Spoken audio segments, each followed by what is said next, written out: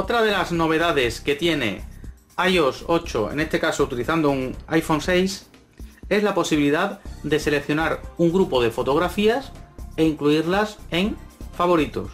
De tal manera que va a crear un álbum denominado favoritos y ahí tendremos eh, pues esa colección de 8, 10, 20 fotos que nos van a gustar. Veamos cómo se, se haría esto. Iríamos a fotos, todas las fotos, seleccionamos una y fijaos, aparece un corazoncito abajo, pulsamos en el corazón y ya está incluida dentro del álbum favorito. Fijémonos ahora como por ejemplo tenemos ya creado el álbum denominado favoritos y ahora mismo tenemos una foto que es la que nos ha incluido. Veamos cómo podemos hacer varias más, incluir varias más. Ahí la tenemos.